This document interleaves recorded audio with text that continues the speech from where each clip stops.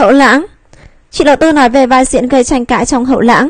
Nữ chính phim Hậu Lãng chị Lộ Tư lên tiếng sau nhiều chê bai về nhân vật đơn đầu đầu do mình đảm nhận.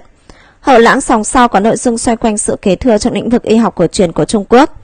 Ở hiện tại, dù đã phát sóng được 30 trên 40 tập, nhưng phim không nhận được nhiều phản hồi tích cực do kịch bản nhiều sạn, diễn xuất nổ và nhạt nhẽo, đặc biệt của nữ chính Triệu Lộ Tư. Tuy nhiên, phim vẫn đứng đầu trên bảng xếp hạng phim có nhiệt độ cao của Vinning Kết.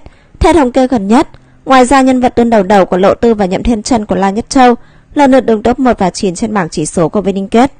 Trong phim nhân vật đơn đầu đầu Triệu Lộ Tư được xây dựng có cuộc đời cơ cực, cô không cha mẹ, không nhà cửa và không được học hành. Đơn đầu đầu vốn kiếm sống bằng nghề giao hàng nhưng sau đó may mắn được một giáo sư chuyên ngành y học của chuyện giúp đỡ. Cô đi theo học nghề và quen biết với con trai của giáo sư là Nhậm Thiên Trân La Nhất Châu. Trong phim nhân vật đơn đầu đầu nhiều lần có những câu nói hành động gây tranh cãi. Trong đó hành động thô lỗ, nổi giận chút hết thức ăn lên đầu khách của cô nhận về nhiều lời chỉ trích hơn cả. Trước những lời chê bai về nhân vật, Lộ Tương lên tiếng phản hồi trong buổi livestream của phim.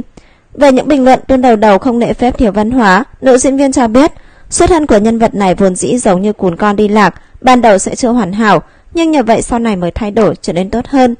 Cô cũng bày tỏ bản thân luôn tôn trọng những nhân vật không hoàn mỹ vì ai cũng sẽ có khuyết điểm. Tuy nhiên chia sẻ của Lộ Tư vẫn nhận về nhiều phản ứng trái chiều.